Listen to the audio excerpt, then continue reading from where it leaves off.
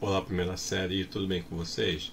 Então, hoje vamos ver um assunto extremamente importante que é a parte de quantidade de movimento e impulso. Bom, então vamos lá. Se eu quiser colocar esse navio aqui em movimento apenas empurrando, eu não vou conseguir, né? Só se fosse o Superman. Então os cientistas tiveram uma ideia.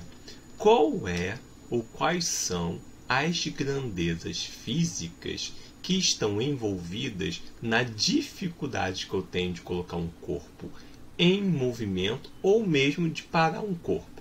Então, se você observa aqui, se esse navio aqui fosse bem pequenininho, bem pequenininho, com uma massa muito é, é, pequena, eu ia conseguir colocar ele em movimento, né? Ou seja, a grandeza física associada à dificuldade de colocar esse corpo em movimento, qual é? É a massa desse corpo.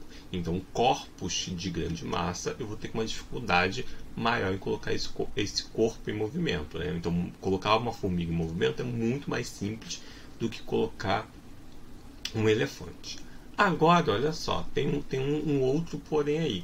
Mesmo a formiga tendo uma massa muito pequena e eu tenho maior facilidade de colocá-la em movimento, se ela estiver em alta velocidade, eu também vou ter dificuldade em pará-la não é isso?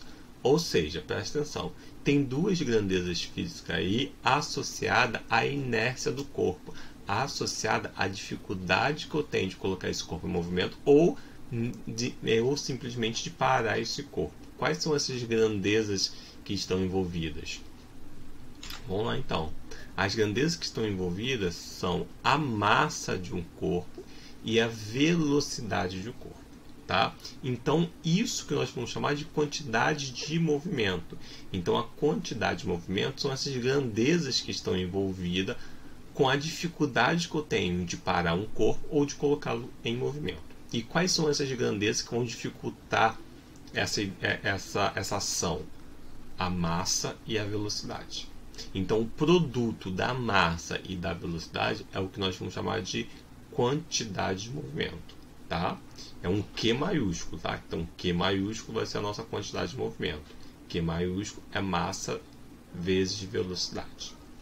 Bom, mas essa equação ela se torna extremamente importante quando analiso o caráter vetorial dela. Isso é muito importante. Hein? Então, sempre quando vocês forem representar a quantidade de movimento, calcular a quantidade de movimento, preste atenção porque a quantidade de movimento é uma grandeza vetorial. Quantidade de movimento é uma grandeza vetorial, cuidado com isso. Então, se eu for somar duas quantidades de movimento, tem que prestar atenção nesse vetor, tá? Então, olha só, qual vai ser o módulo dessa dessa grandeza, essa quantidade de movimento? O módulo é a intensidade, né? Então, o módulo é massa vezes velocidade. Qual é a direção? A direção vai ser a mesma do vetor velocidade. O sentido também do vetor velocidade. Tá? Tudo bem? Tranquilo? Então, quantidade de movimento é a massa do corpo vezes a velocidade do mesmo. Tá? Bom, e qual é a quantidade de movimento para um sistema de partículas? Observe aqui que daqui é um, é um, sistema de partículas isolado, né? Então a quantidade de movimento total, total, tá? Vai ser a soma vetorial. Presta atenção, eu não estou falando que é uma soma aritmética, eu estou falando que é uma soma vetorial. Então a quantidade de movimento vai ser a soma vetorial de cada partícula aqui. Então, para eu saber a quantidade de movimento total, basta fazer a quantidade de movimento de todas as partículas. Vocês conseguem entender qual é a importância disso? Então, se você, se você acredita que o universo ele estava concentrado em um único ponto, então se eu calcular a quantidade de movimento desse único ponto, eu consigo saber a quantidade de movimento de todo o universo, tá? A massa desse universo, a velocidade desse universo. Mas por enquanto vamos nos basear em coisas mais simples. Por exemplo, eu tenho um corpo e esse corpo explode, vai vários pedacinhos para cada lado. É isso que eu estou querendo passar aqui. Então, se tem um corpo é, único aqui, se ele explode em vários pedacinhos, para eu saber a quantidade de movimento total antes da, da explosão, basta fazer o que? A quantidade de movimento de cada partícula. Então, se eu sei a quantidade de movimento total, eu consigo determinar das partículas. Se eu sei das partículas, eu consigo determinar o total. Tá?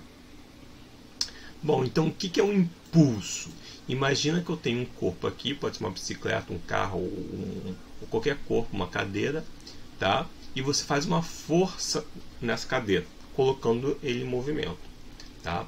Essa força atua durante um intervalo de tempo, delta t. Então, o impulso da força, o impulso da força vai ser a força vezes o intervalo de tempo, tá? Então, observe aqui que o impulso também é uma grandeza vetorial.